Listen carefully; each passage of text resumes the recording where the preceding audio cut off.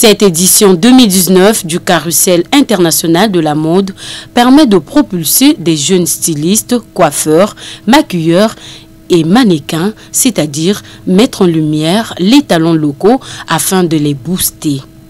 Comme l'explique la promotrice de cet événement, Pascaline Cabré, Turmel au cours de la conférence de presse organisée pour le lancement officiel de la sixième édition de ce festival.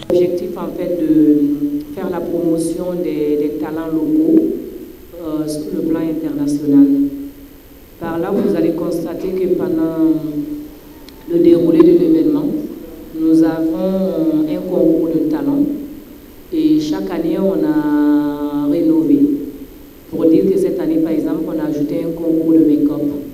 Donc, euh, on aura aussi un concours de créateurs, des créateurs, euh, des jeunes talents locaux. On aura un concours de mannequins et aussi un concours de coiffeurs.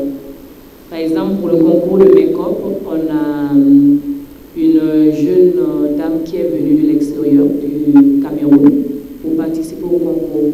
Pour dire que chaque année, on a souvent même une ou deux personnes qui viennent, hormis les défilés internationaux où il y a des services internationaux qui viennent, il y en a qui font le déplacement pour venir rien que pour le concours.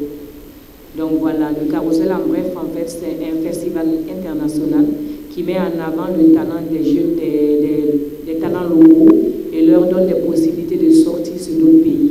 Après la séance des questions-réponses, s'est en suivi la présentation des mannequins qui d'ailleurs vont prendre part à ce festival qui prendra fin le 2 juin prochain. Euh, je suis Nyaka Koko, maquilleuse professionnelle, je viens du Cameroun. C'est Kadi Diakoni, mannequin gabonais de l'agence Écurie et du Gabon. C'est ma première expérience. Les festivaliers de 2019 proviennent du Cameroun, de l'Angola, du Gabon, du Burkina Faso, du Bénin, de la Côte d'Ivoire et de la France. Pour votre gouverne, le carrousel international de la mode se tient chaque année pour célébrer la beauté africaine et la créativité.